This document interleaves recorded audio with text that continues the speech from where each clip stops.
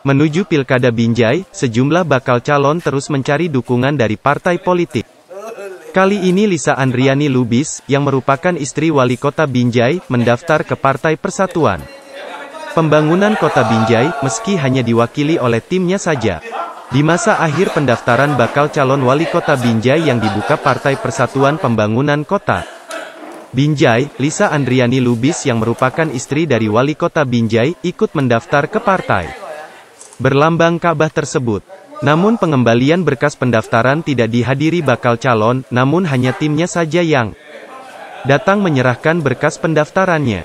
Pengembalian berkas pendaftaran Lisa Andriani Lubis diterima langsung Ketua DPC Partai Persatuan Pembangunan, Irham Syah Putra Pohan dan tim penjaringan. Menurut tim dari bakal calon, bahwa Ibu Lisa Andriani Lubis saat ini sedang mendampingi wali kota. Binjai keluar kota, sehingga tidak bisa hadir mengembalikan berkas pendaftarannya. Namun seluruh berkas sudah beliau tanda tangani dengan sah.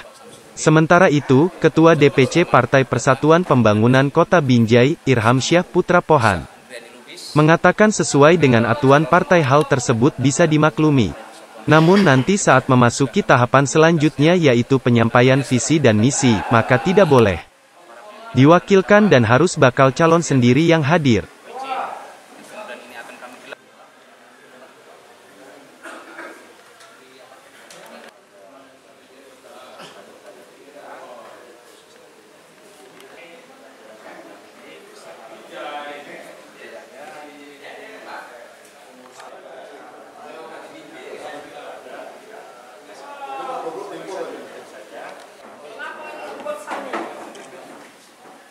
Pakai senyum ya. Asli wah, asli wah. Asli Ibu Lisa ya. Boleh di diwakilkan bang?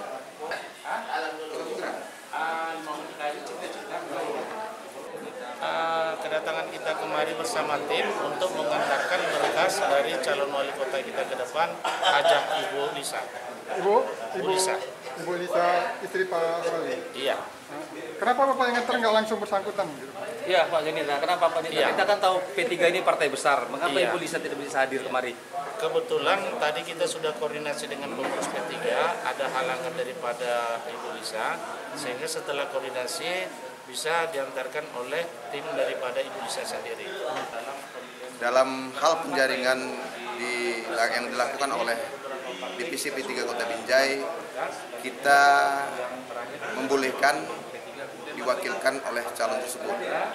Tapi setelah nanti dalam penyampaian visi dan misi ini tidak bisa diwakilkan oleh calon tersebut karena kita akan melihat sejauh mana eh, eh, calon tersebut memperbaiki dan membesarkan P3 di Kota Binjai ini.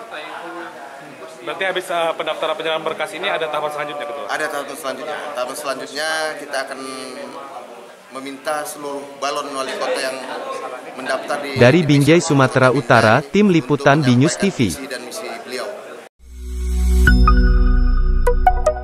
B News TV.